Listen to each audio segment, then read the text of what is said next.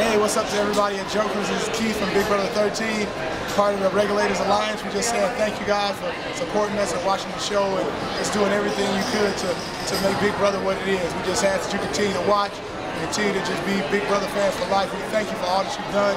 Have a good one. Peace out.